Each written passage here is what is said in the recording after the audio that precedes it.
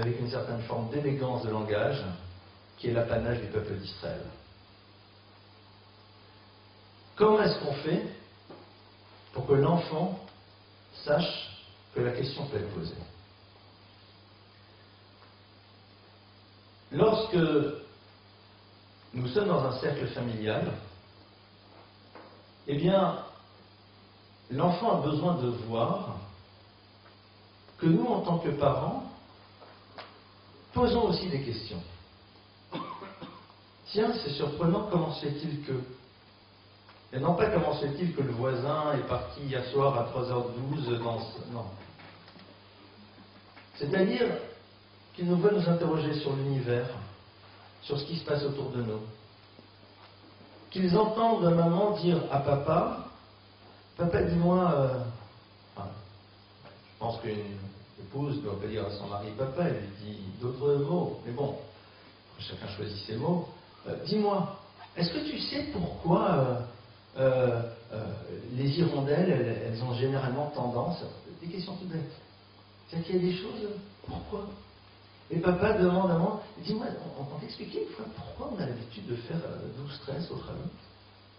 C'est-à-dire que sur des questions banales, que l'enfant entende, il y a des choses qu'on ne sait pas nous aussi qu'en tant qu'adulte et on demande pourquoi. Donc c'est-à-dire poser des questions, c'est normal. Et pourquoi Et qu'est-ce que ça veut dire? Et on t'a une fois, t'as as déjà entendu qu'à ce qu'il parlait telle et telle chose voulait dire ça? Il faut que l'enfant voit que l'humain pose des questions, que l'humain ne sait pas certaines choses, que même papa et même maman n'ont pas tous les savoirs, qu'ils demandent à l'autre et qu'il n'y a pas de honte à demander pourquoi. Elle n'a pas celui qui a honte ne pourra jamais apprendre. Vous pouvez m'expliquer pourquoi cette chose se passe comme ça? Je ne sais pas. Pourquoi vous avez besoin de savoir? Parce que j'ai envie, c'est intéressant. Nous entendre, dans le cadre de la famille, nous poser de ces questions d'analyse du pourquoi. Qui fait que l'enfant voit que c'est quelque chose de normal. C'est des choses qui se font.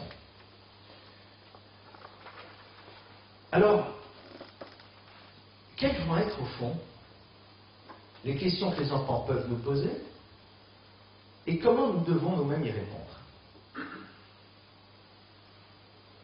Je vais prendre un grand classique Maman, dis-moi comment il est rentré le bébé dans ton ventre?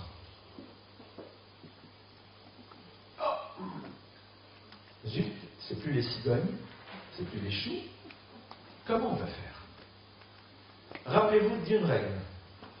Si vous racontez des cracks, vous vous décrédibilisez jusqu'à la fin de vos jours. La personne à qui je fais confiance m'a raconté des mensonges. Soit vous dites, on va c'est pas ça qu'il faut dire, écoute, je te répondrai plus tard, why not? Soit vous donnez une réponse qui est vraie, même si elle est incomplète. Mais on n'invente pas quelque chose qui est faux. De la bouche du parent, répondre à une question d'un enfant de manière inexacte remet en cause la crédibilité de la parole parentale. Donc à quel moment aura-t-il la certitude que ce que je lui dis est vrai? Pourquoi tu penses qu'il faut que je fasse ça? Parce que tu. Tu m'as dit des choses, c'est inexact. Et en plus, si on commence à lui raconter, ah c'est marrant parce qu'on m'a dit, un copain m'a dit que à ce qui paraît. Alors on fait quoi là? Donc on va prendre maintenant cas par cas parce que ce soir on va être dans de l'ultra concret. Comment les bébés viennent, comment le bébé est rentré dans ton ventre, maman? Alors, première chose, on accueille la question en disant c'est une très bonne question que tu poses. Lorsqu'on apprend ça, il aime. Lorsque aime, cette personne qui voulait le mettre en colère, vient chez lui pour le stresser et lui demander des questions complètement folles, pourquoi les Africains ont les pieds plats, pour dire, il lui dit mais c'est une excellente question, mon fils. C'est pas juste une stratégie de communication pour pouvoir prendre le temps de réfléchir, ça peut exister. Mais c'est pour lui montrer que tu poses une bonne question, ce qui est vrai. Tu t'intéresses, tu veux comprendre, mais c'est génial. Donc il doit bien comprendre que c'est bien de poser une question toi, que c'est bien. Et là, on va pouvoir lui dire, lorsqu'ils sont petits, 4, 5, 6, 7 ans, eh bien c'est très simple. Pour que le bébé vienne dans mon ventre, Hachem a décidé qu'il devait y avoir un papa, une maman, et après Hachem décide à quel moment le bébé va pouvoir commencer à grandir dans mon ventre.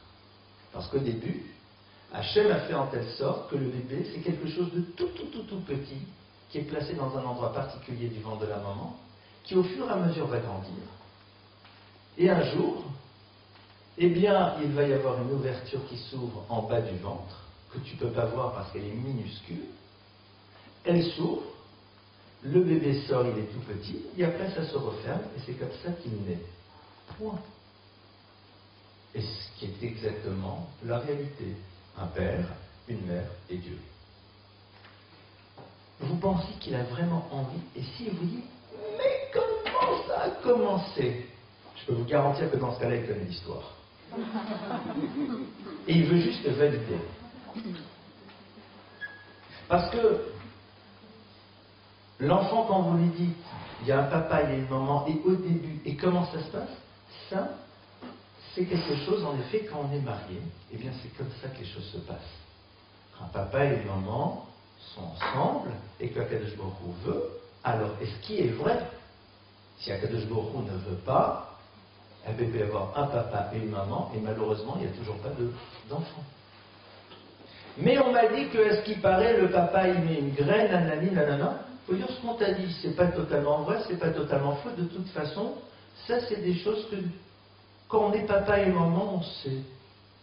T'es papa maintenant? T'as une maman? Non, alors c'est pas nécessaire. C'est-à-dire, c'est pas. On a le droit de dire c'est pas le sujet, oui, mais c'est pas. T'as pas besoin de le savoir maintenant. L'essentiel, tu es au courant. Maintenant, que faire lorsque le petit copain en cours de récréation, et je suis désolé, je vais être brut de décoffrage, a expliqué, voire photo à l'appui, comment ça se passe? Pardonnez-moi, dans toutes les écoles, peut-être pas ici, et je le souhaite profondément, je n'espère qu'une chose, c'est de me tromper quand je le dis, et je ne demande qu'une chose, c'est de me tromper. Aujourd'hui, je ne connais pas encore beaucoup d'écoles dans lesquelles, à un moment ou à un autre, il n'y a pas quelqu'un qui, sur son portable ou sur son machin, n'a pas montré des scènes de reproduction, euh, et pour parler light, à un petit copain ou à d'autres personnes. Alors il y a des enfants qui ne les verront jamais parce que tout simplement ben, et puis il y a des endroits, des écoles, et je souhaite profondément que ça se passe ici, et c'est génial, dans lesquels eh bien, les choses ne seront pas, et c'est extraordinaire. Donc je parle de théorie pure, mais sans vous créer des stress, savoir que c'est dans le domaine du possible. Pour mille et une raisons.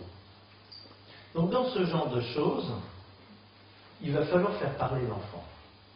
Ah, il dit non, parce que tu à dire, ah non, mais peut-être que tu es plus au courant.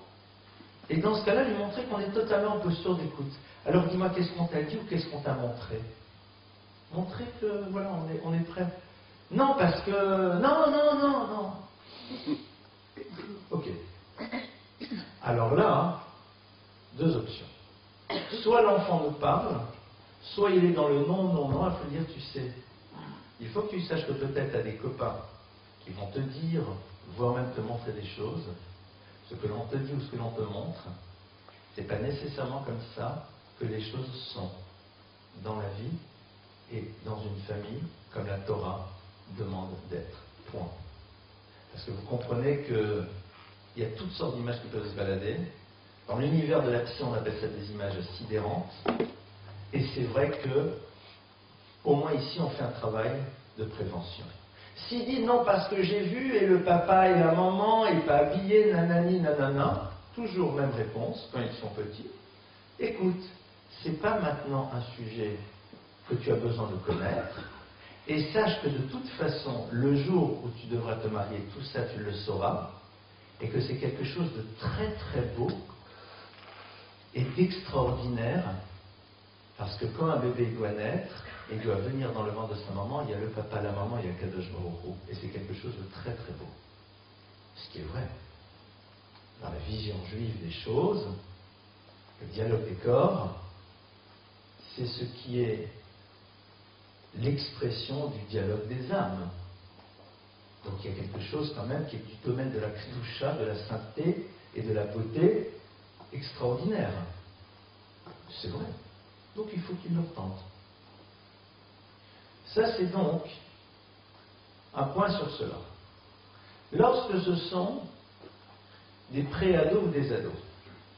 Alors là, il faut jouer à la juive et répondre à une question par une question. On répond à une question par une question. Euh, mais dis-moi, toi, qu'est-ce que tu en sais? Qu'est-ce qu'on t'en a dit? Mais montrer qu'on n'est pas inquisiteur et dire, tu sais, sache que on peut raconter beaucoup de choses et de dire tout et n'importe quoi. Alors je préfère au moins que tu aies une vision claire. Qu'est-ce qu'on t'a raconté? Et ça m'intéresse pas de savoir qui t'a raconté et ça ne me dérange pas de savoir qu'on t'a raconté. J'ai juste pas envie qu'on te raconte des bêtises. Et c'est là où, en effet, on va avoir le même principe qui est de dire écoute, ce qu'on t'a dit, c'est pas totalement faux, mais sache que c'est pas comme ça que les choses sont concrètement dans un couple qui s'aime. C'est tout. C'est-à-dire, c'est. Parce que là, on est dans des, univers d'animalité, dans des univers dans lesquels on ne voit que, que du physique et du physiologique, et ça s'arrête là. Alors que l'essentiel n'est pas, n'est pas présent. Donc il faut dire les choses, sans rentrer plus avant dans les détails. Autre chose que l'on retrouve souvent dans les cours de récréation chez les petites filles, à partir de 11-12 ans, c'est alors tu les as eus, tu les as eus, tu les as eus? D'accord? Donc, il va bien falloir parler à maman de cela. Eh bien, comment est-ce qu'on en parle? De manière très simple, ça peut être la mère ou le père. De manière générale, c'est plus la maman. Mais pourquoi je dis la mère ou le père Pour bien montrer que ce qui est important, c'est la distance émotionnelle que l'on a avec ça? Je vais vous expliquer pourquoi. Si dans notre tête, lorsque l'on en parle, on est persuadé que l'enfant nous imagine nous aussi dans la même histoire qu'on est en train de lui raconter, on ne peut pas le faire. Si dans notre tête, notre univers et l'univers de l'enfant, ce sont des univers complètement séparés, donc à partir de là, euh, on peut en parler. Pour une jeune fille, c'est très simple. Il vaut mieux être avant qu'après. C'est-à-dire, une maman sait détecter parfaitement si une fille va être prépubère plutôt qu'une autre, et donc lui dire, tu sais, j'avais envie de te parler d'une chose, et donc là, on prend l'enfant et on lui dit, voilà, tu sais que maintenant tu es en train de grandir, et donc, euh, tu vas devenir etc. C'est-à-dire que besoin Hachem, un jour tu vas te marier et tout.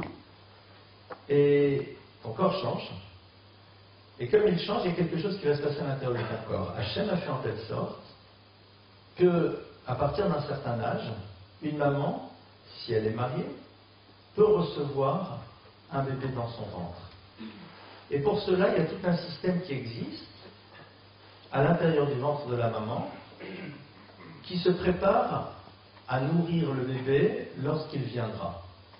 Lorsqu'Hachem ne décide pas que le bébé doit être là, et en l'occurrence on n'est pas marié, c'est sûr que non, alors cette chose qui était prête pour nourrir le bébé, et pour nourrir le bébé ça passe par le sang, eh bien, cette chose-là disparaît, et donc tu vas voir un peu de sang qui coule, et je te dis tout de suite, ça ne fait pas mal, ce n'est pas une blessure, et pourquoi c'est important? Beaucoup, beaucoup, beaucoup de des problématiques que les personnes peuvent avoir dans ces périodes de cycle sont liées à ce qu'on leur en a dit. La parole que vous allez avoir va être fondamentale dans la manière dont les choses vont être vécues. Après, il y a des médecins dans la salle qui me diront, mais il y a des personnes qui ont des prédispositions à vivre. Ok.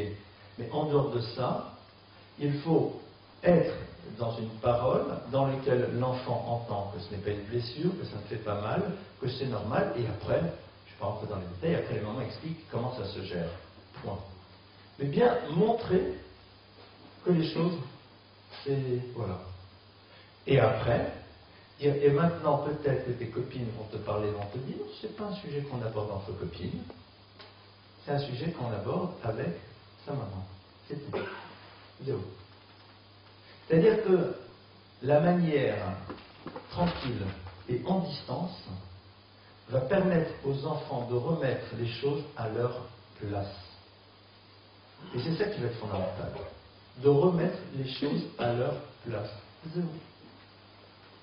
Votre calme, votre distance émotionnelle, la manière d'utiliser des mots simples, sans vouloir rentrer dans des détails qui sont totalement inutiles, c'est amplement suffisant. Comme vous avez vu, je vais parler, pas besoin.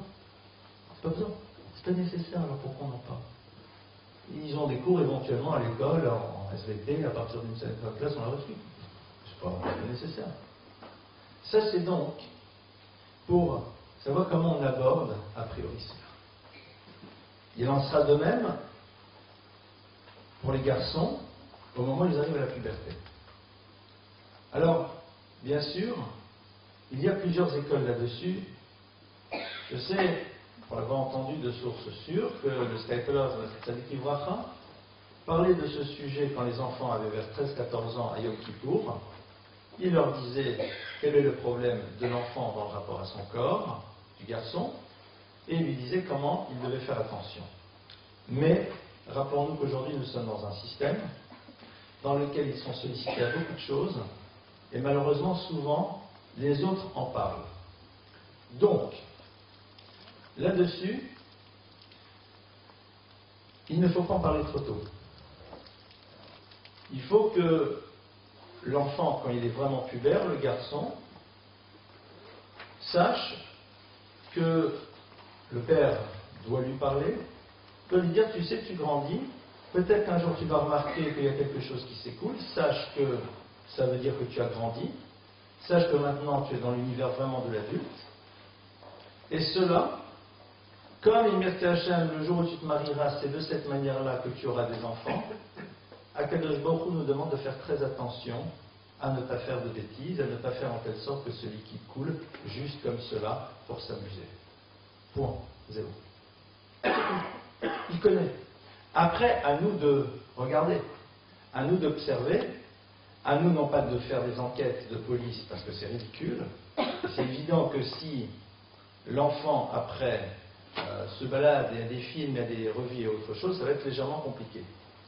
Sachez que les problématiques qu'ont les garçons sont beaucoup, beaucoup, beaucoup liées à un besoin de plaisir avec un grand P. Plus les garçons ont du plaisir dans ce qu'ils font, moins ils ont besoin de rentrer dans un univers de compensation. Le plaisir de l'étude, le plaisir de jouer un instrument de musique, le plaisir de faire du dessin, le plaisir de faire du sport, le plaisir de courir, le plaisir de bâtir. Il faut que le plaisir soit présent chez les garçons pour qu'ils n'aient pas besoin d'être dans cette dimension de compensation. Parce que essentiellement, on est dans des problématiques de compensation. On se recentre sur soi-même et on se donne du plaisir parce qu'on n'arrive pas à en trouver ailleurs. Bien sûr, j'écarte de cela l'univers malheureusement totalement perverti dans lequel c'est totalement banalisé, dans lequel, entre les films à droite, à gauche et tout, on fait tout et n'importe quoi. Ça, si malheureusement un gosse tombe là-dedans, on est dans un autre univers, c'est beaucoup, beaucoup, beaucoup plus complexe à gérer, parce que c'est. On est ailleurs. On en parlera si vous voulez dans les questions, mais je ne veux pas volontairement parler. Là, on est dans le a priori. Donc, comme vous le voyez, règle numéro 1, simplicité, prise de distance émotionnelle et introduire la dimension particulière qu'a le peuple juif dans le rapport qu'il a à tout ce qui est dans le domaine du corps, tout ce qui est du domaine de l'intime, en étant dans une vigilance extrême au niveau du langage. Si la Torah n'a pas donné de nom et de mots pour désigner ce qui est dans la tradition juive l'expression de la kedusha, de la sainteté absolue, c'est-à-dire l'univers à travers lequel l'enfant se conçoit, c'est pas pour rien. C'est pas parce que les maîtres du peuple juif avaient une forme de pudeur mal placée. C'est parce que dire quelque chose, c'est lui donner une dimension limitée. Le mot limite. Il y a des choses qui sont du domaine de l'infini, parce que ce sont des univers dans lesquels on construit l'infini. Le mot est réducteur, donc il ne peut pas y avoir de mots. Et c'est pas pour rien que pour le garçon, on parle de Brit Mila, et dans Mila, il y a Mila, c'est-à-dire le, mot. Et on dit, voilà, c'est un mot ce truc-là, mais quel mot on ne sait même pas, il n'y a pas de mot. Alors il faut bien lui donner un nom. Alors on dit Mila, mais c'est Mila, c'est un, mot, c'est un mot. C'est un mot. Mais quoi un mot? Donc, il y a, vous savez,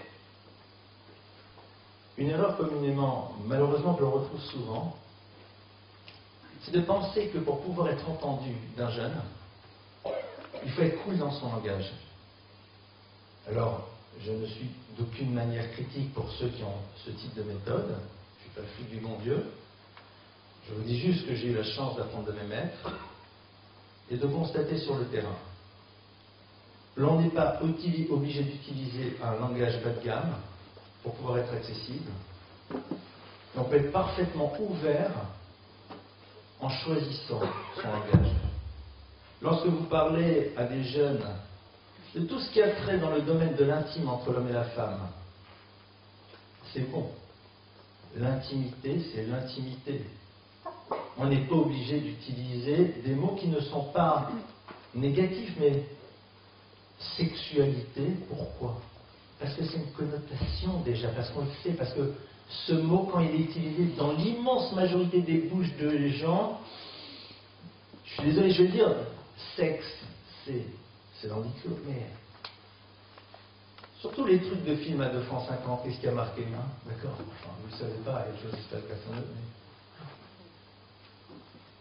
Donc, à un moment, c'est pas du tout la pudibonderie. C'est tout simplement avoir un raffinement du langage qui n'enlève en rien l'ouverture et la possibilité de parler, de parler des choses de manière claire. C'est fondamental.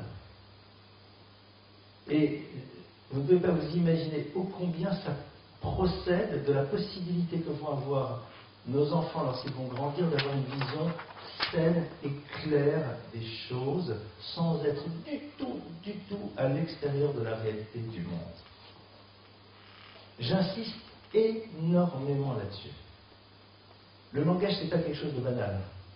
Les mots, ça traverse, ça nourrit, ça transperce. Qu'il y a des mots, on connaît. Ce n'est pas la peine qu'ils fassent partie de notre langage. Ce n'est pas nécessaire. Juste pour vous montrer jusqu'à où ça va, il y a quelques années, je me suis retrouvé chez deux maîtres qui, sur la même question, m'ont dit quasiment la même chose. C'était leur Kanievski et leur, c'était leur Steinman. Ai dit, il m'arrive en tant, en tant qu'arabe, enfin personne d'autre, donc euh, assumer. Les gens viennent nous parler de problématiques et parfois de situations très complexes dans lesquelles euh, il y a des choses parfois qui ne sont pas très ragoûtantes de ce qui a pu se passer, etc. et tout, dans des univers de couple ou extérieurs de couple, enfin. Et je dis comment je fais? Alors, je vous dis tout de suite, je ne me lâche pas Madame la pudeur, hein, mais bon. Et il m'a dit, quand vous sentez qu'on va être obligé de rentrer dans des détails, demandez aux gens d'écrire intéressant. Ça, c'est pas. Ou alors, de leur dire écoutez, euh, si vous pensez que les détails sont absolument nécessaires, dites-le, mais, mais vraiment bien nécessaire Juste pour, pour nous renvoyer à l'idée de l'importance du mot. Donc, pour ça je, je m'appesantis là-dessus. Choisissez vos mots. L'enfant qui répond, qui a dit Papa, c'est quoi une relation? Faut lui dire les mots que tu as lus, en français, en Lachon à Kodesh, c'est complètement différent. C'est tout ce qui a trait à ce qui se passe dans l'univers du papa et de la maman par rapport à avoir des enfants. Ah, mais il y a des machins, etc., etc. On peut dire, si tu veux, on étudiera ça un peu plus tard, avec plaisir. Il a montré que ça pose aucun problème. On, étudiera ça. Et il y a de fortes chances qu'il ne l'étudie jamais. Si on l'étudie, on. Vraiment, ça serait. Ça serait un autre, un autre chiot dont je parle maintenant. Comment est-ce qu'on étudie ce genre de texte de la Torah euh, où il y a des choses un peu curieuses parfois qui se passent? On sort de l'univers de tout ce qui a trait au domaine du masculin et du féminin pour entrer dans d'autres questions qui peuvent être embarrassantes. Et après, si vous voulez bien, j'écouterai les questions embarrassantes que vos enfants vous ont peut-être posées, qui sont celles dans lesquelles l'enfant nous pose des questions euh, sur euh, mais qui a créé Hachem? Ou alors pourquoi Hachem laisse des gens méchants exister dans le monde?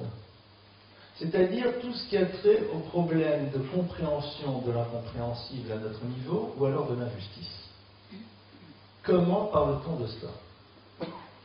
Alors je vais vous dire, en ce qui concerne Dieu, c'est très simple. L'enfant a besoin de se nourrir de vos certitudes. Et l'enfant a besoin de savoir que même si vous ne comprenez pas, ça ne veut pas dire pour autant que cette notion-là n'est pas vraie pour vous. Qui a créé Hachem Je vais te dire, c'est une excellente question Hachem n'est pas créé, il est. Et pour tout te dire, comme nous, on est des êtres humains, eh bien c'est très difficile à comprendre, mais c'est comme ça. Quand il voit que le c'est comme ça, c'est l'expression de la réponse que j'ai moi pour ma question. Faut clair la question. Ça veut dire quoi? Un créateur qui n'est pas créé, c'est compliqué. Hein? Comment ça fonctionne? Ah, il y a un il a été, il est, il sera à notre espace-temps. Enfin, mais c'est ce que le Rambam dit, même dit car ma pensée n'est pas la pensée de Dieu, c'est-à-dire on, est. Mais c'est une réalité. Et à ce moment-là, dit, tu vois, le monde nous montre que Akadosh Baruch est là. À comment il est arrivé? C'est vrai que c'est quelque chose qu'on ne peut pas comprendre, nous, en tant qu'être humain. Mais on sait que c'est vrai. Et le savoir que c'est vrai s'il est rempli d'une certitude réelle rassure l'enfant. Parce que si son père, sa mère, en qui il a confiance, arrive à accepter quelque chose qu'il n'arrive pas totalement à comprendre, mais qui pourrait être du domaine de l'évidence, alors, alors c'est bon. Sur la justice, Faisons très attention aux explications de texte. Parce que celui qui commence à dire non mais tu comprends parce que c'était des rechaïs, mais c'était de ceci et c'était cela, d'abord, j'aimerais celui qui donne ces explications parce que dans ce cas-là, je rencontre Dieu. Ah parce que tu es au courant, parce que Dieu t'a fait, t'a donné des infos. Intéressant. Je vais t'expliquer là, super. Parce que Moshe Rabbeinu a voulu comprendre qu'il ne peut pas comprendre, toi tu es au courant. C'est top. Bien, intéressant. Vous savez que comme Moshe Rabbeinu a dit à Réminat que il a dit Hachem, montre-moi ta face. Hachem dit Tu verras mon arrière, mais pas ma face. Et là-bas, il y a marqué que Dieu a montré à Moshe Rabbeinu Kesher Chal le nœud des Tfilin. Qu'est-ce que ça veut dire? Une des explications, c'est que c'est quoi les nœuds des Tfilin vus de l'arrière C'est deux lanières qui arrivent de part et d'autre qui se rejoignent et qui repartent chacune dans une direction. Vu devant, on réalise que ce ne sont pas deux lanières, mais une seule et même lanière. C'est-à-dire qu'à un moment, les choses se retrouvent ensemble, on comprend qu'il se passe quelque chose, que tout est lié. Et puis après, ça repart et on a l'impression, mais on ne comprend rien. Quand tu es devant, tu comprendrais que tout ça, c'est une histoire unique. L'univers des tikkunim, des gilgulim, de tout ce que vous voulez. Alors, quand un enfant dit mais pourquoi c'est pas juste, il faut dire mais je comprends. C'est vrai qu'il y a des choses qui pour nous semblent pas justes et c'est pour ça que tous les jours on fait la fila, qu'il ne se passe que des bonnes choses dans notre vie. Acte vienne demande, chaîne ne nous envoie pas d'épreuves et des choses difficiles. Maintenant, c'est vrai, on souhaite très très fort que jamais on en connaîtra. Mais quand il y a des choses comme ça dans la vie, eh bien, il faut savoir que ces choses-là, elles existent parce qu'elles doivent exister. Et qu'en vérité, même si nous, on ne voit pas pourquoi, elles ont une raison. On lui donne notre réponse. Parce que cette réponse-là, ce n'est pas la réponse de l'enfant, c'est la réponse aussi de l'adulte. Et derrière, lui dire est-ce que attend de nous, c'est que même quand on voit quelque chose qui nous semble être injuste, que le monsieur tellement méchant, eh bien, c'est celui qui est tout devant, et celui qui est très gentil, c'est celui qui est tout derrière, rassure-toi, Akadosh Baruch de toute façon, un jour, fera que les choses elles seront totalement bien qu'on pourra même le voir. Le problème de l'injustice, c'est quoi Je vais le raconter. C'est celle d'un de nos enfants qui dit Papa, je n'ai eu que telle note, mais je suis le seul à ne pas avoir triché. C'est pas juste. C'est vrai qu'a priori, c'est pas juste. Et ce qui est important, c'est de savoir que la conduite que tu as eue, c'est une bonne conduite, c'est comme ça qu'il faut être, alors rassure-toi. Si tu as eu la conduite qu'il faut avoir, eh bien que de en tient compte et c'est tout. Faire très attention de ne pas rentrer dans l'univers des gentils et des mauvais, et de la mériter et de la pas mériter, parce que même nous, on dit des choses, on ne sait pas de quoi on parle. Donc à partir de là, ça ne sert à rien de donner des explications de texte qui sont souvent oiseuses et qui d'une certaine manière n'aboutiront pas. Il y a donc, dans toutes les questions qui ont trait à à la maladie, à la mort et toutes ces choses-là, il faut d'abord savoir que les enfants ont des angoisses. Et donc, il faut leur dire, tu sais, il ne faut pas croire que parce que quelqu'un a fait ceci ou a fait cela, alors il va se passer telle et telle chose. Parce que souvent, les enfants ont de grandes culpabilités et pensent qu'ils peuvent être responsables, surtout quand c'est dans leur univers familial. Je me rappelle d'un garçon qui était persuadé que son arrière-grand-mère, qui était morte à un âge fort, fort respectable, plus de 100 ans, si elle avait disparu de ce monde, c'est parce que lui, en vérité, il faisait mal, euh, je ne sais pas, tel et tel mitzvah. Comme ça. Parce qu'il a sans doute dû un jour, un jour entendre un prof qui disait que quand on fait ça, c'est très grave et on peut être rayable, je ne sais trop quoi, et donc il a fait. Donc bien montrer que les choses, c'est pas, c'est pas comme ça, quoi. Je veux dire, à dans la vie, il y a des moments difficiles, des moments plus faciles, des moments extraordinaires, des moments plus compliqués. Tous les jours, on fait la fila pour que les choses se passent le mieux possible. Et Bezrat Hashem, Akadosh Baruch fera un descendre dans notre filote. C'est tout. Maintenant, il y a malheureusement des cas concrets dans lesquels l'enfant est confronté à ce genre de choses. Là, c'est déjà une autre situation. Là, il faut être sûr que l'adulte qui lui répond à la distance émotionnelle, pour pouvoir à un moment accueillir sa souffrance et l'aider à la vivre, et pas juste lui donner toutes sortes de réponses. Mais ça, je ne l'aborderai pas maintenant. L'enfant dans la confrontation à deuil, à la maladie, ce sont des sujets qui malheureusement, malheureusement existent et qui sont lourds, dans lesquels je pense que ce n'était pas le moment et ce n'est pas le, lieu pour en parler, mais le concept, c'est d'abord d'être dans l'accueil de la difficulté, de la souffrance, et de montrer que pour nous, les choses sont identiques, que pour nous aussi c'est difficile, mais qu'on sait très bien que les choses ne sont pas injustes, même si elles peuvent nous le paraître, et que, voilà, travail d'acceptation. C'est pas simple du tout. Euh, et c'est facile d'en parler, c'est beaucoup plus compliqué de le vivre. C'est pour ça que j'ai pas trop envie de, de développer, mais il faut l'avoir un petit peu en tête. On va quitter donc cet univers de l'injustice, puis on va rentrer dans les questions embarrassantes sur les juifs et les goïs. Alors déjà, moi ça me fait bondir, parce que j'aime pas du tout ce genre de terminologie. Euh, il y a le clan Israël, le peuple juif, et ceux qui n'en font pas partie. Lui, c'est qui? C'est un monsieur très bien. Il est juif il n'est pas juif? Ah, lui, c'est un monsieur qui n'est pas juif. Il n'est pas juif. Que, après, je ne sais pas dans quel lieu les mots sont utilisés, ce qu'ils vont vouloir dire. Alors,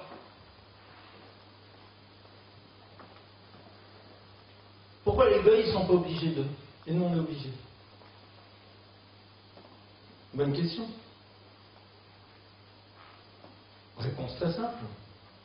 Parce que toi, tu as un papa, qui lui-même a un papa, qui lui-même a un papa, qui lui-même un papa, qui un jour s'est retrouvé au Har et à ce moment-là, il a accepté la Torah pour lui et pour tous ceux qui descendront après lui. Ah, mais moi, j'étais pas là, je voulais pas. Pourquoi moi, je dois faire? En vérité, je t'explique. As une Neshama elle a dit oui, et elle était très contente de pouvoir dire oui. Ces notions-là, il faut bien qu'ils les entendent. Nos Neshama étaient là, ils ont accepté. Ça, ça va être donc dans ce type de question qu'elle va être l'axe de réflexion que l'on va pouvoir avoir.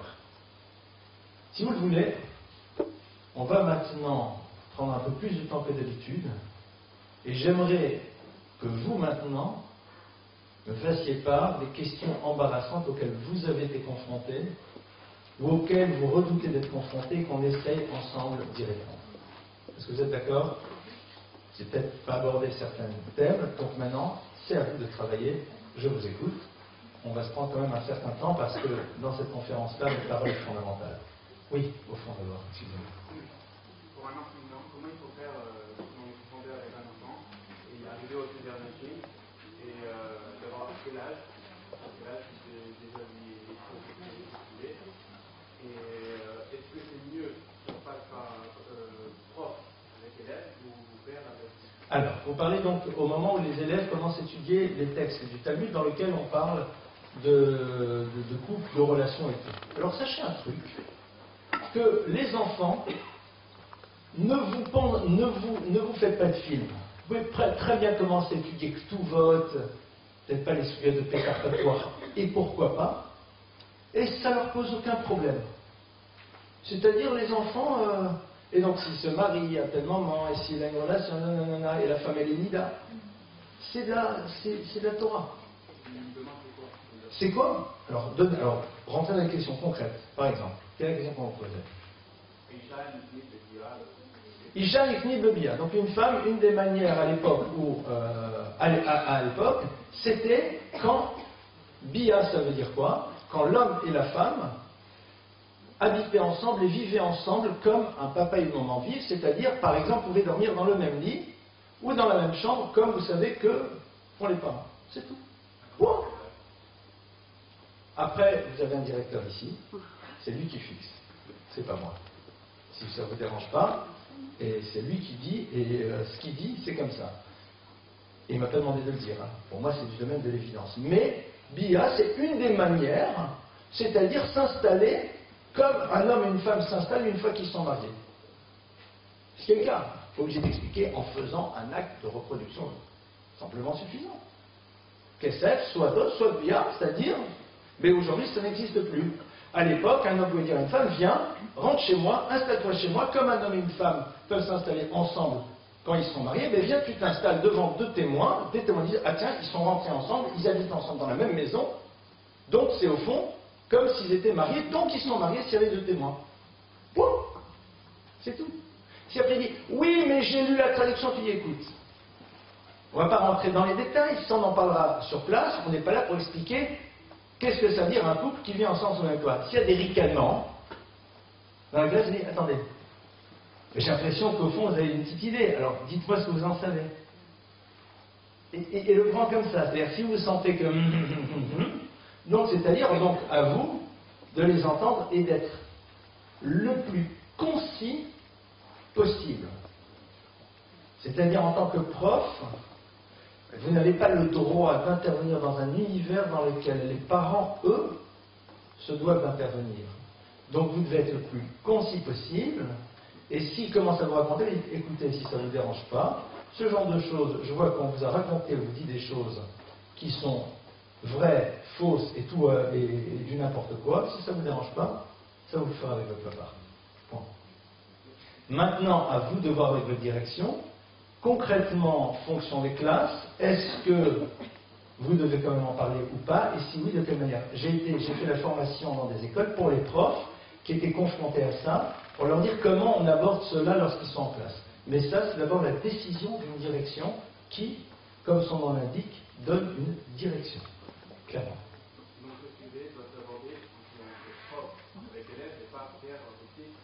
Ah non, ah non. Vous répondez de manière la plus concise qui soit en renvoyant la balle à la nécessité que l'enfant en parle à un parent. Si après, dans ce genre de cas, vous en référez à votre directeur, vous dites voilà, il s'est passé, comment vous demandez aux élèves Qui vous dira peut-être aussi, un père passément, vous passez et vous avancez. Vous savez, on peut prendre par exemple l'histoire de Yehuda et de Tamar, même dans des petites classes. Yehuda l'a vu, l'a prise pour a cru que c'était une femme qui était là et que ça ne dérangeait pas de se marier avec un homme qui allait passer même si elle ne le connaît pas. C'est sa zona. D'accord? Ça ne la dérangeait pas de se marier avec un homme même si elle ne le connaissait pas, parce qu'il y avait des. Mais en vérité, elle, pourquoi elle faisait ça? Parce qu'elle savait très bien que si elle se mariait avec Yehuda, elle pourrait donner naissance aux enfants qui donneraient le Mashiach. Yehuda est venu vers elle, et en effet, il pensait que c'était une femme comme ça. Comme il n'était pas marié, il a dit Veux-tu te marier avec moi? Et comme quand on se marie, il lui a donné quelque chose, parce qu'on n'est pas obligé de donner qu'une bague. Et comme ils se sont trouvés après comme un mari et une femme, Hachem a fait en telle sorte que elle a eu un enfant, etc. C'est exactement ça. Pardonnez-moi, je n'ai rien raconté de faux. J'ai juste pas dit, et ils ont une relation physique entre eux, et il a pris pour une prostituée. Zona, c'est quoi une zona? C'est une femme qui s'offre à un homme quel qu'il soit. C'est-à-dire qui fait quelque chose qui ne se passe normalement que dans un couple marié avec un homme quelconque. Et en plus, là-bas, Chazan nous dit bien que ce qu'il lui a donné, c'était une forme de kiddushin, au passage. Vous êtes dans le texte. Donc l'enfant qui un jour va grandir n'enlèvera pas du tout de votre crédibilité parce qu'il a dit la vérité, mais avec d'autres mots et de manière plus élégante sans rentrer dans des détails qui ne sont pas du tout nécessaires pour la compréhension du texte. On leur précise quand même que c'est des choses qui, enfin, à 10 ans ou 8 ans, 9 ans, des fois ils entendent des choses qui ne sont pas dans la logique d'un. C'est des choses qui ne sont pas dans la logique d'un couple normal. Un homme a, a, Ah non, mais il n'était pas marié, hein ah. Il, ah oui, oui, il était veuf. Ah. Oui, il était veuf. Et puis attends, non il est venu, il s'est tourné vers une femme qui était prête à se marier avec un homme qu'elle, même si elle ne le connaissait pas. Qui était prête à avoir une relation physique avec un monsieur, même si elle ne le connaît pas, contre monnaie sonnante et trébuchante. Et si après il dit à deux femmes, trois femmes, à l'époque on pouvait avoir plusieurs épouses. Moi j'ai une fois un gosse qui m'a qui, fait une remarque géniale. Donc dans la fameuse histoire où, où, euh, Léa dit à Yaakov, ce soir tu viendras dans la tente avec la fameuse histoire des Didaïm. Je me suis dit, le pauvre Jacob, il était sans arrêt d'aller dormir chez Rachel, chez Léa, il n'avait même pas de lit pour lui tout seul. c'est bon, après, il ne faut pas aussi se faire de fantasmes. Hein. Parfois, les enfants, ils prennent des choses pachoutes de chez pachoutes et ça passe, et ça, sans aucun problème. Ça prouve bien, et pourtant, le gars, c'est le trou. Il dormait chez une, chez l'autre, le pauvre, il n'a même pas, il a même temps à lui. J'ai dit, tu as raison, c'est vrai. Oui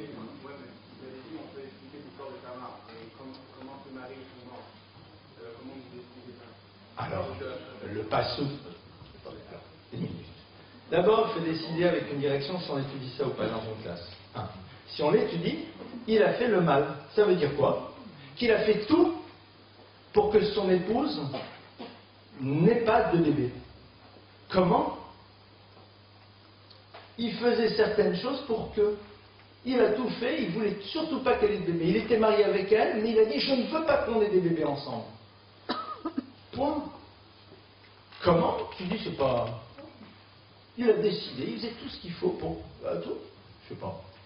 Tu verras C'est-à-dire, c'est à un moment, à un moment, il faut quand même aussi poser les choses. C'est comme ça.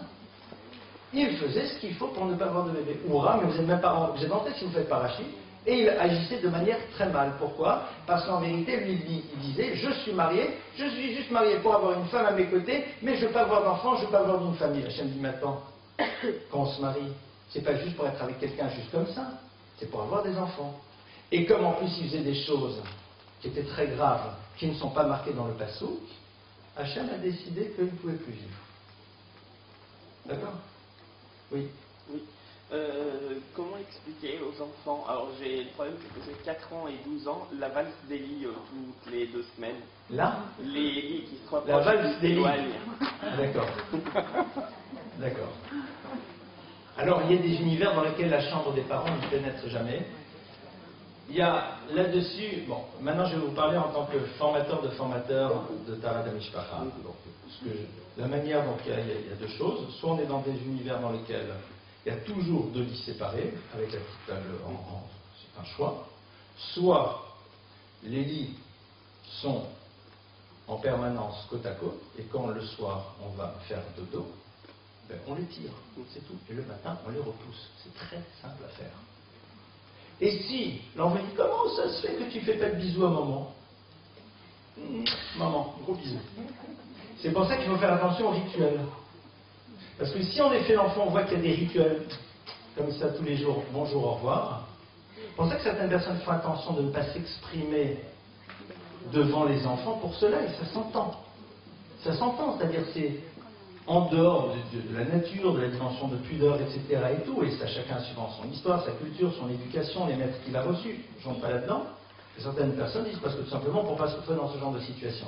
Mais si les parents ont des gestes affectueux de temps à autre en présence des enfants, il faut tout que ce soit, sauf que ce soit des rituels. Parce que si on est dans le rituel, alors là, il y manishtana.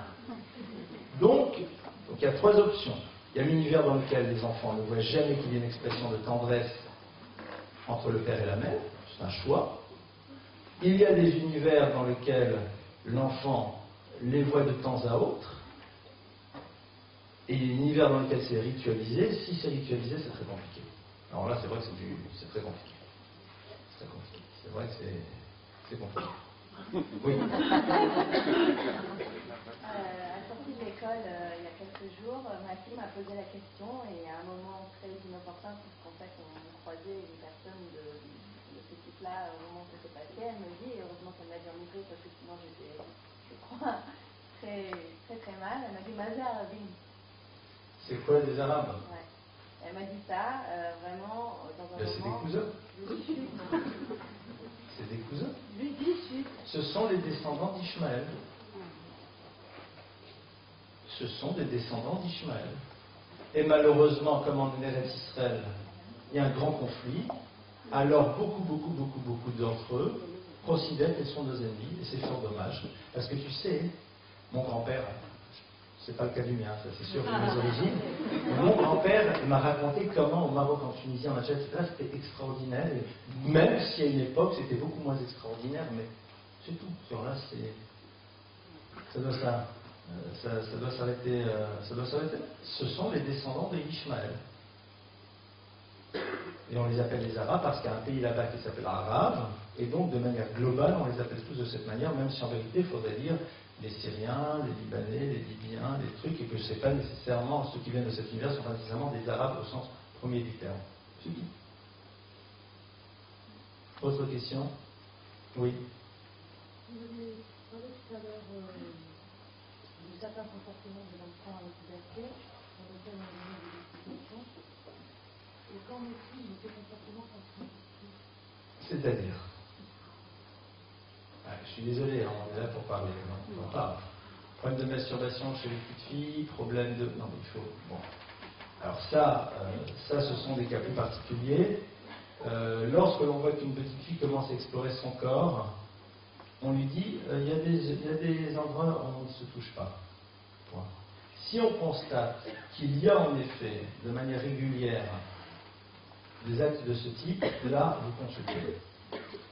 Euh, je ne vais pas rentrer maintenant dans un travail là-dessus, mais il faut savoir que on peut rentrer parfois dans des comportements presque addictifs chez des petites filles qui euh, découvrent en effet que certaines parties de leur corps peuvent leur procurer du plaisir et au bout d'un moment rentrent dans un système qui peut, sur lequel il faut savoir intervenir avec des professionnels, clairement. Donc les phrases à dire, c'est tu sais, il y endroits du corps qui sont très kadosh chez nous, on ne s'amuse pas à y toucher n'importe comment, c'est tout. Simplement suffisant. Comme un garçon, euh, comme on ne dit pas, euh, on se la joue pas Pierre Perret, hein, n'est-ce pas? Vous voyez ce que je veux dire C'est la fameuse chanson dans laquelle il donne toutes les, tous les termes. de- Non Ta brite, il est là. Un enfant va faire les dolim, les ktanim. Ce qui est grand, ce qui est petit. Mais, en hébreu, ça passe très bien, les dolim, ktanim. S'ils utilisent le terme, c'est pas grave, mais toujours cette notion de savoir dire les choses, mais avec un autre langage, pour bien montrer que on n'est pas dans le même univers. Parce qu'on n'est pas dans le même univers, on n'est pas dans le même univers. Et encore heureux. Et on fait tout pour ne pas être dans le même univers. On vit comme des êtres humains qui vont construire des relations de couple épanouies, heureuses, dans tous les domaines. Mais pas dans le même univers, on est dans l'univers de la Kedusha. Donc c'est pour cela que ça passe, et c'est pour ça que je me suis permis d'insister beaucoup, beaucoup sur le choix du langage. Important, sans être dans une forme de préciosité ridicule, mais il y a des manières de dire. La Brit Mila. D'accord? Pour un garçon. Autre question? Oui. Pratique. Euh, L'enfant qui dit pourquoi ce monsieur est, noir, et parce que la Morée m'a appris que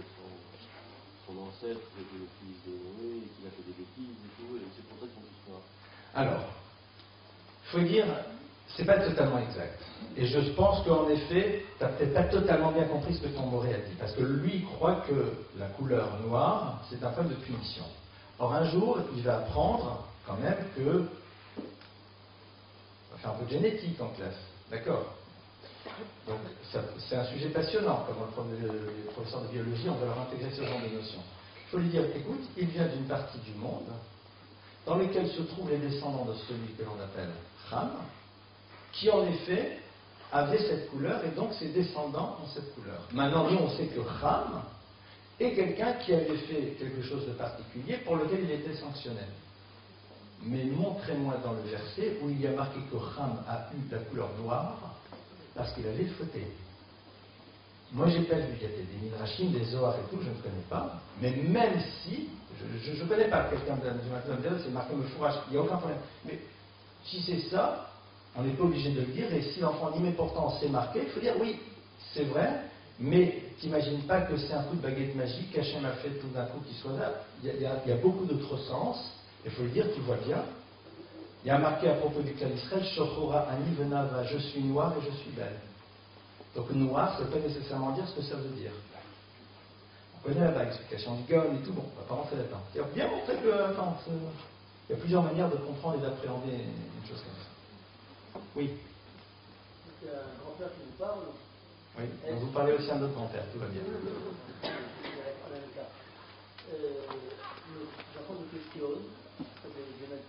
Est-ce qu'il y a un domaine réservé où on ne peut pas répondre où on doit parents Alors, oui, c'est tous les domaines.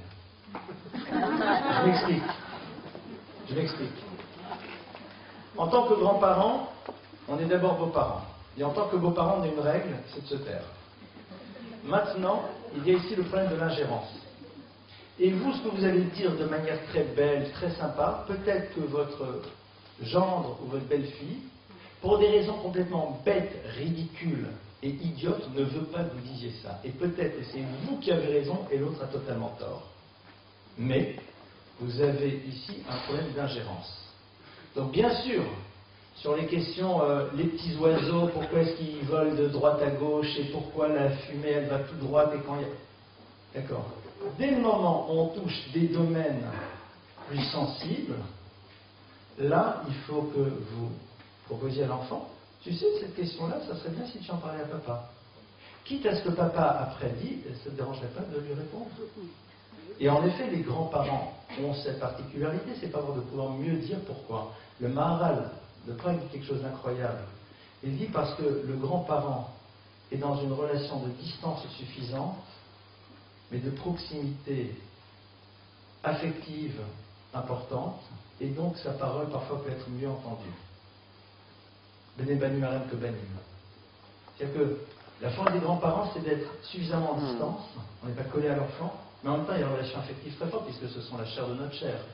Et donc, parfois, notre parole peut être entendue, et donc c'est pour ça que préserver avec extrêmement de préciosité ce que vous êtes, parce que vos en- petits-enfants auront besoin un jour de se confier parfois à vous, et c'est ça, au fond, notre fonction de grands-parents, et elle est extraordinaire. Donc, pour ne pas casser la possibilité de relation, dès le moment où c'est dans des univers dans lesquels vous posez la question est-ce qu'au fond c'est à moi d'y répondre, demandez à vos euh, enfants, fils, belle-fille, fille, belle- gendre. Il m'a posé cette question, je lui ai dit de vous en parler. Point. C'est c'est parce que vous ne serez pas capable de cette forme de l'ingérence. Et même si vous le savez, éventuellement, si vous savez vraiment, vous pouvez dire, vous savez, dans ce genre de questions, moi j'aurais plus tendance à, mais il faut qu'il vous demande. Si vous ne demandez pas, peut-être dans la vie, on ne donne pas de réponse avant d'avoir des questions. Autre question Oui Euh, en ce moment, on n'entend pas beaucoup parler du mariage pour tous. Comment. D'accord. L'homosexualité. Alors, faire très attention de ne pas rentrer dans les lieux communs. Tout d'abord, montrer la nullité du débat en disant mais qu'est-ce qu'ils ont besoin de tous? Courir dans tous les sens pour savoir si deux messieurs peuvent se marier ensemble. C'est un peu ridicule. C'est-à-dire quoi se marier ensemble? Marier sur un papier, ils sont mariés femmes, si ça leur fait plaisir. Ah, il y a des messieurs qui, en effet, préfèrent pas se marier et avoir des enfants, ils préfèrent être habités ensemble. Bon, ben, c'est leur problème. Hein. La Torah dit que c'est pas comme ça que ça se passe. C'est-à-dire, c'est fou là. Parce que c'est ça, au fond. Ce qui est sûr, c'est que s'ils rentrent dans le, veulent rentrer dans les détails, mais c'est quoi? C'est deux hommes qui ont décidé qu'ils ne veulent pas se marier avec une femme et qui ont décidé de vivre ensemble. S'il dit, et qu'est-ce qu'ils font le soir à partir de 23h30 au lit Vous comprenez, c'est pas ça le sujet. Je suis désolé de le dire de cette manière un peu légère, parce que c'est pas très joli, mais le sujet, il n'est pas là. Si maintenant vous sentez que, alors il faut dire, ce qu'ils font, c'est quelque chose de complètement interdit par la Torah. C'est tout, on pose. La Torah l'interdit. Ah, mais ils disent qu'ils s'aiment. Faut on peut dire ce qu'on veut. Mais la Torah, si la Torah te dit que c'est interdit, c'est que c'est interdit. Maintenant, c'est sûr que si un enfant insiste un peu trop, c'est que peut-être il y a des choses qui le titillent là-dedans, il faut dire, mais parfois il y a des gens qui sont persuadés qu'en vérité ils ne pourront se marier qu'avec des hommes, et quand quelqu'un est persuadé que ça, ça vaut la peine qu'il en discute avec quelqu'un qui pourra l'aider à comprendre comment on fait pour que même si on pense qu'on ne pourra pas se marier avec une femme, en vérité on pourra se marier avec une femme.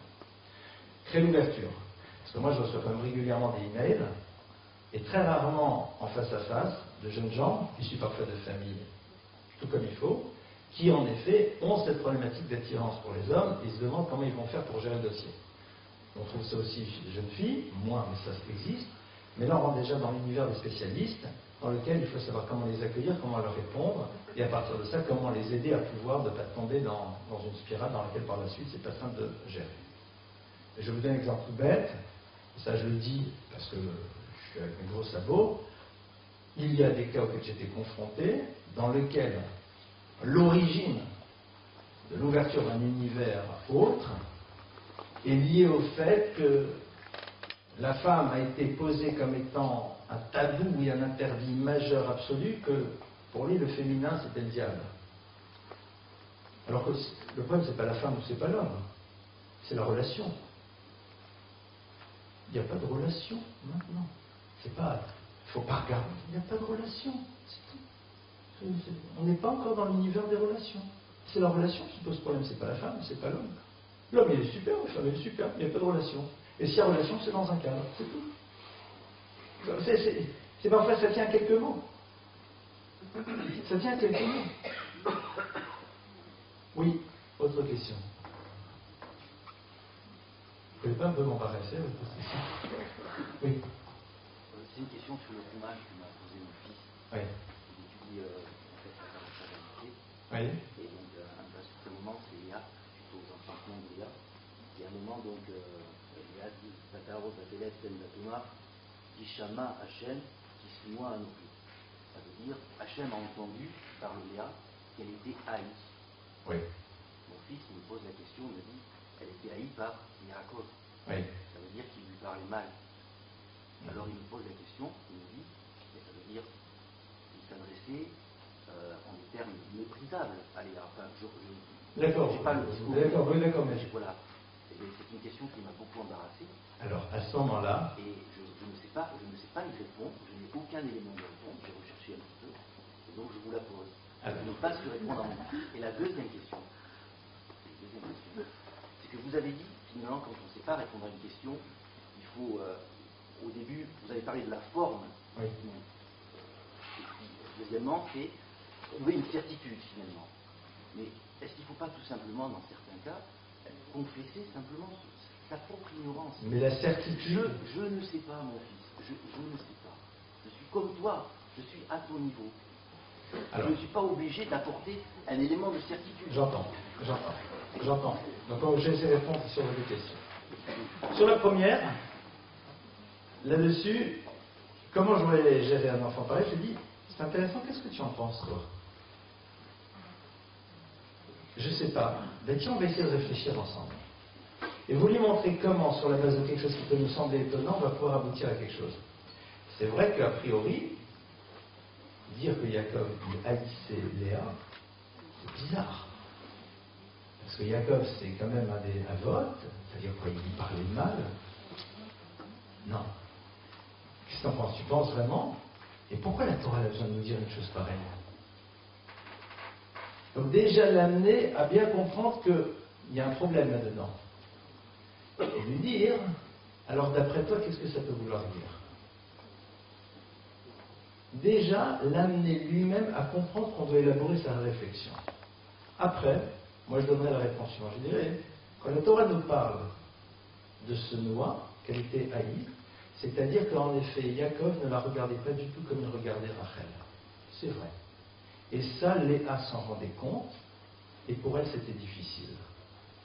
Et comme pour elle, c'était difficile, c'est la raison pour laquelle Akadosh Baruch a fait en telle sorte qu'elle se sente très aimée de lui par le fait qu'elle a pu donner six shvatim au clan d'Israël. Il faut le dire, c'est sûr.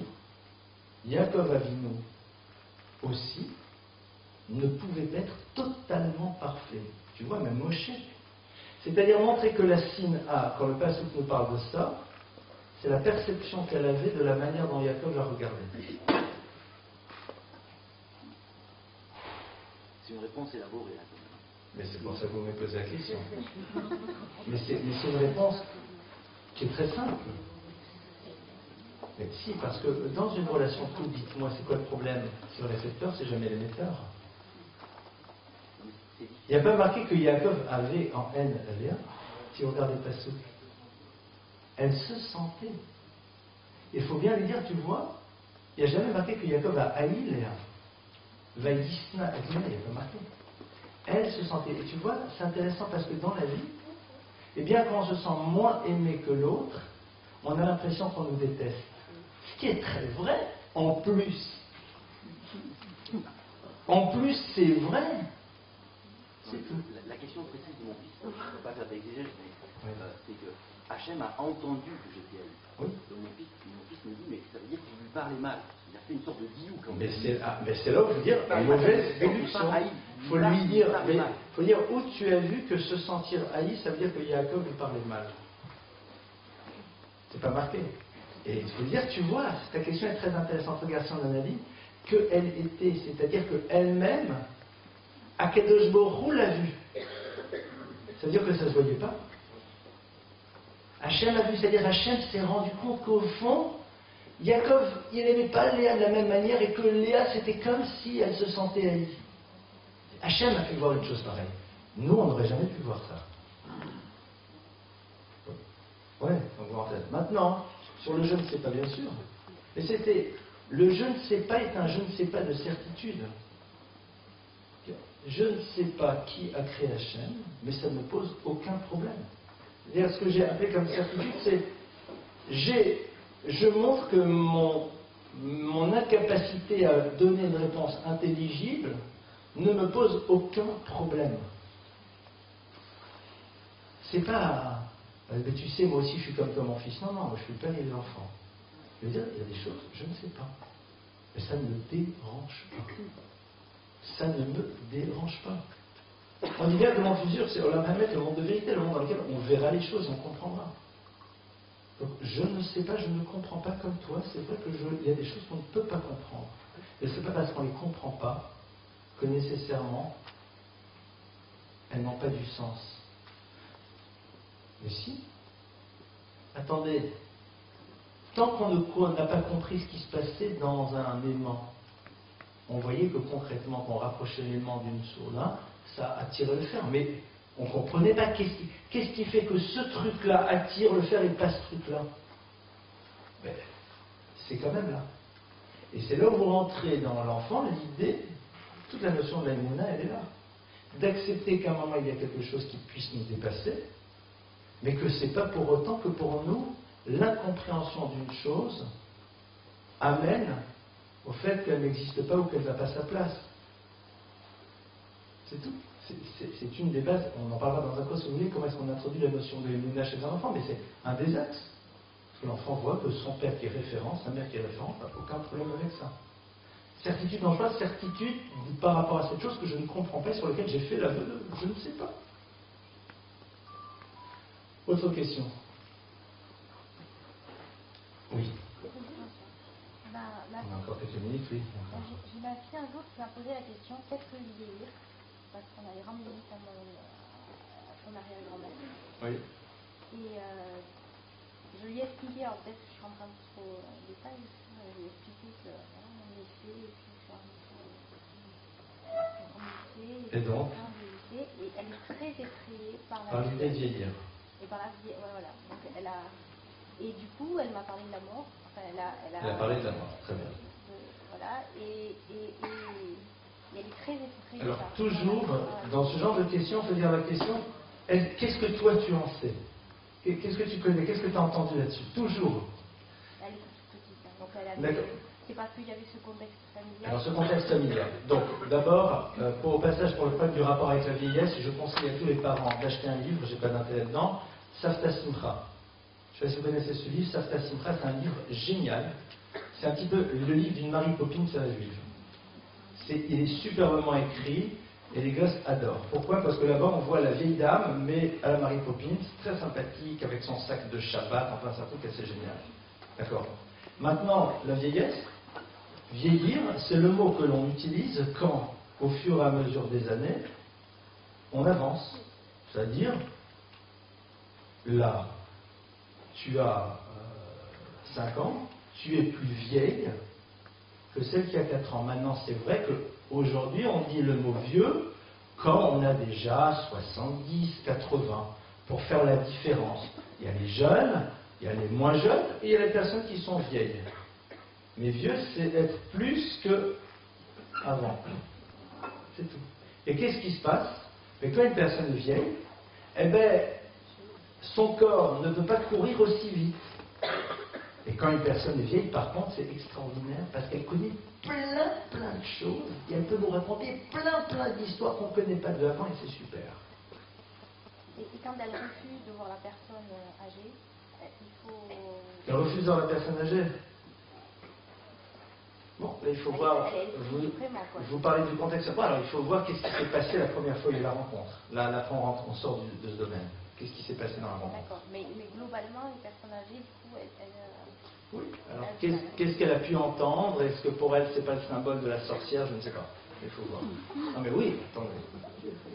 La vieille sorcière. Autre question? Oui. Vous parlez de puberté. Euh, Oui. Quand on a deux jumelles, moi j'ai quatre jumelles, mais ça peut être des enfants rapprochés, des filles rapprochées. Oui. Une très précoce en termes de puberté et une qui déconne. Est-ce qu'on doit parler de la même façon aux deux, sachant qu'elles sont jeunes